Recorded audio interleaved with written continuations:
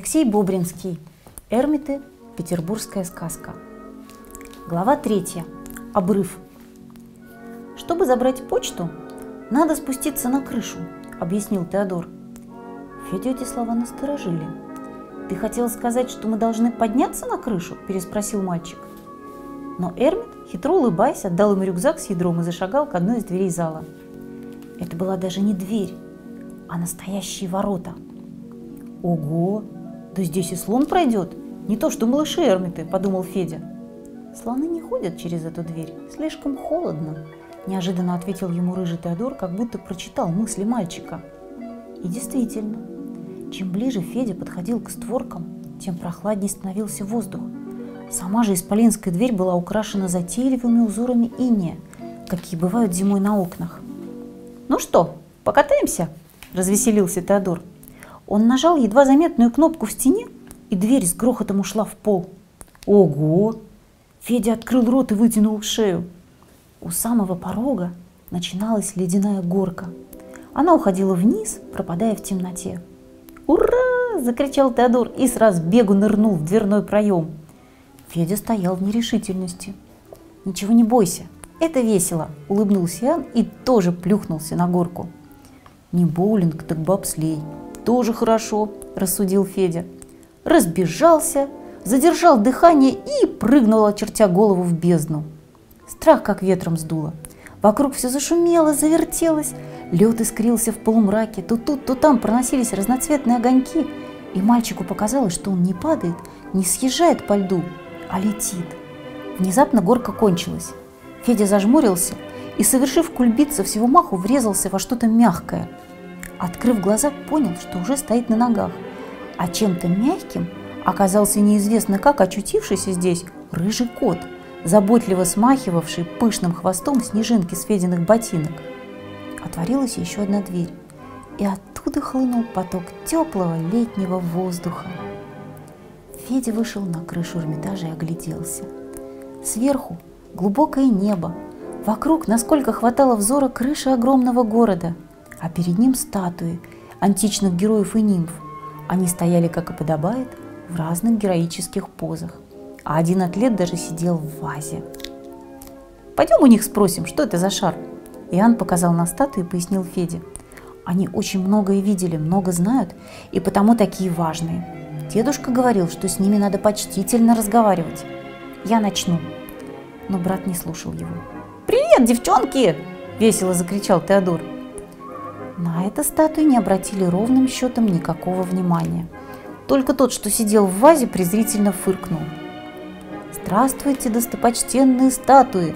Мы...» Попытался исправить положение Иоанн, но тут же запнулся, не зная, как продолжить. «Э, не правда ли сегодня вороны летают очень низко?» Иоанн понял, что окончательно запутался, да и статуи оставались равнодушными и не желали оценить его манеры. «О, высокородные! Мы наслышаны о ваших знаниях и пришли спросить об одной вещице». Иоанн изысканно поклонился, Заметив это, Федя тоже отвесил неуклюжий поклон. «Ну что же, странники?» Статуи медленно повернулись. «Представьте нам предмет, а мы растолкуем, что есть сие, если оно и в самом деле есть. Ибо знаем все», – надменно добавил сидящий в вазе. «А если не все?» – усомнился Теодор. «То многое», – донеслось из вазы. «Показывайте». Федя достал из рюкзака ядро и только тут почувствовал, какое оно тяжелое. Вот, на шар для боулинга похоже. Стоявшие вокруг статуи вдруг неподвижно застыли в трагических позах. И только через несколько мгновений одна из нимф испуганно заговорила.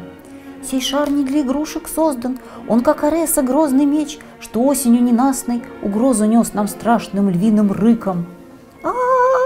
Закричали статуи хором и, оскочив к самому краю крыши, закрылись от Феди руками. «Чего это они так испугались?» – удивился Теодор. «От страха чуть живой», – перевел дух один из героев. «Но чу! Где друг наш верный, что демиургом в вазе поселен?» «Увы же мне, увы!» – донеслось из-под крыши. Герой из вазы так перепугался, что чуть было не свалился вниз, но чудом успел ухватиться за карниз. Статуи бросились выручать его. «Что-то я не понял», – сказал Теодор. «Это они кругляка боятся?» Тоже не пойму, размышлял Федя. Говорили об игрушках, о львах каких-то. И кто такой Демиург? Вы его знаете? Эх вы! Иоанн постарался придать себе умный вид. Все просто. Помните, для чего статуям львов шары? Я знаю.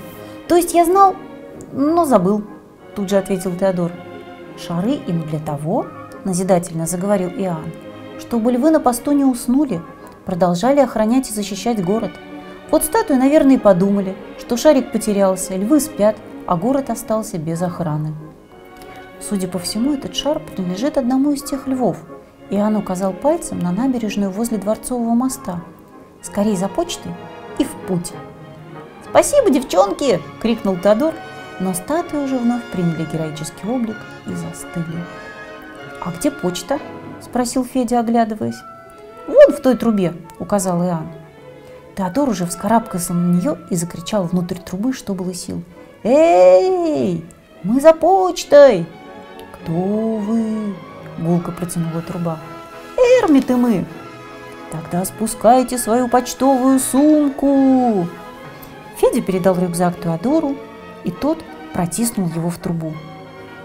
Через несколько секунд из глубины послышалось «Ловите!» И рюкзак вылетел прямо Феде в руки. «Как будто ничего не прибавилось», – подумал Федя. Он хотел заглянуть в рюкзак, но Иоанн его остановил. «Почта?» И это всегда загадка. Никогда не знаешь, что там. Выбравшись из Эрмитажа, вся компания отправилась к Адмиралтейству, ко львам. И Федя все гадал, как же люди будут реагировать на эрмитов?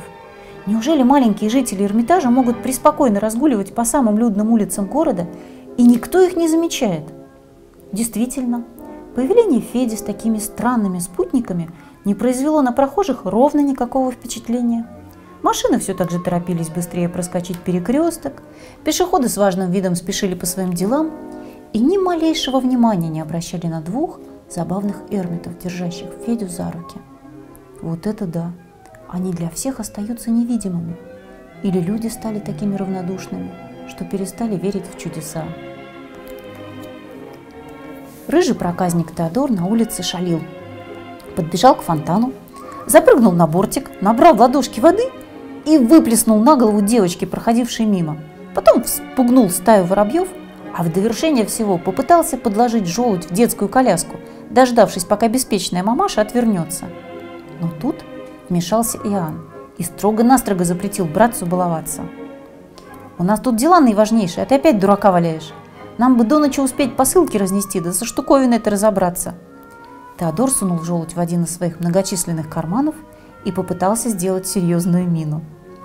Через дорогу компания перебиралась с приключениями. Теодор не хотел идти до пешеходного перехода и потащил ребят на пролом. Только совместными усилиями Иоанна и Феди удалось удержать расшалившегося Теодора и не отпускать до тех пор, пока для пешеходов не загорелся зеленый свет. «Вообще-то мы, эрмиты, всегда ходим только на зеленый», отдышавшись назидательно сказал Теодор. Львы стояли гордо подняв головы и смотрели вперед, на Неву, на кунсткамеру и на здание 12 коллегий. На секунду Феде показалось, будто тот, что слева, помахивал хвостом, как живой. Кошки так выражают свое волнение или недовольство. «Кажется, дофин и Авер сегодня не в настроении», – угадал его мысли Теодор. «Я к ним подходить не буду. Наверное, они еще не забыли, как я им банты на хвосты повязал, пока они с туристами фотографировались». Такие серьезные, город охраняют и статуи их уважают. А почему их так странно зовут? Удивился Федя. А ты пойди за хвост дерни да спроси, подначивал Теодор. Заодно познакомитесь. Да не котята еще, разве не видишь? Просто большие котята, перебил Иоанн брата. Эй вы, отойдя на приличное расстояние, вдруг завопил Теодор. Кис-кис-кис, кто тут из вас свой шар потерял? Ответа не последовало. «А шары-то на месте», – приглядевшись, заключил Иоанн. Он тоже предпочел не подходить к котятам близко. Нет, они бы шары терять не стали. Они с ними играть любят, по ночам гоняют, как кошки-мышек. Значит, это не их шарик, решил Федя. Или вообще не шарик, выпалил Иоанн. Как это не шарик? Ну, что-нибудь другое. Так вот же он, круглый, тяжелый, что же это тогда? Федя совсем растерялся. Пока не знаю, но видно, что вещь важная, раз дед фасад велел вернуть. Ладно, что делать? Пошли дальше искать. Нам теперь надо к Исаакиевскому собору, к бабушке Салеи, сказал Теодор. Может, она чего подскажет. И друзья продолжили свое путешествие. А в это время до Адмиралтейства как раз добрался бравый артиллерист Семен Пантелеймонович. Под полуденным солнцем путь от Петропавловской крепости показался неблизким. Пантелеймонович решил искать свою ядро со стороны Александровского сада. Одно за другим обследовал он старые орудия, стоящие там. Каждому осторожно заглянул в дуло, осмотрел сложенные пирамидками ядра, но заветного среди них не обнаружил. «Ох, и надо ж было такому случиться!» – горестно произнес старик, усаживаясь на скамейку в тени. «Вишь, улетела, закатилась, а я – пожилой человек, за выслугы лет, дважды контуженный, бегающий по городу. Куда дальше-то путь держать?» «Кар!» – ответил ему ворона Карла. «Да тут какие-то мальчуганы ростом с аршин с твоим снарядом бегают. Ты их ищи!»